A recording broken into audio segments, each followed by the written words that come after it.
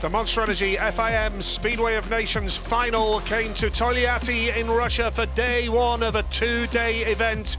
The reigning champions on home territory looking to take an advantage after day one.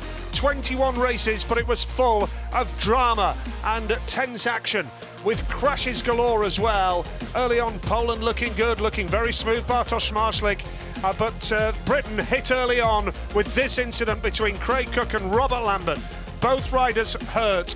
Lambert rode on with pain in his neck and Craig Cook rode on with a wrist problem. But the action was fast and furious as the sun set and the Russian boys making home advantage count. Emil Sayfutdinov, absolutely magnificent throughout the course of the evening, really rode superbly. Uh, Australia, though, with Jason Doyle in great form, he was leading their challenge brilliantly. Niels Kristian Iversen came off in a real awkward looking tumble, and that allowed Denmark to use Frederik Jakobsen for a couple of uh, rides, and he scored well.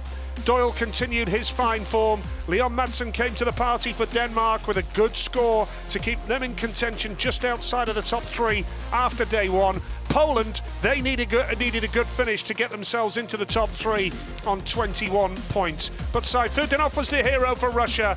He saluted the crowd, who were absolutely delighted by the uh, man who won the previous Grand Prix before the uh, World Pairs break. And Sayfutdinov inspired Australia 23, Russia 22, Poland 21.